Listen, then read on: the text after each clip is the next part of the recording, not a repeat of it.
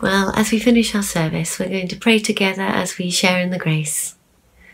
May the grace of our Lord Jesus Christ and the love of God and the fellowship of the Holy Spirit be with us all evermore. Amen. Amen. If you have anything you would like to be prayed for, big or small, please do join us in the uh, prayer ministry room on Zoom.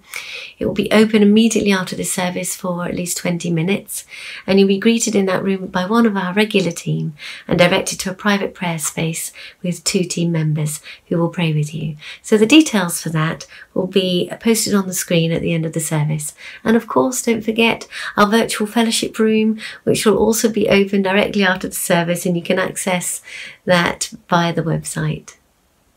And before you leave, don't forget always wear your invisible crown.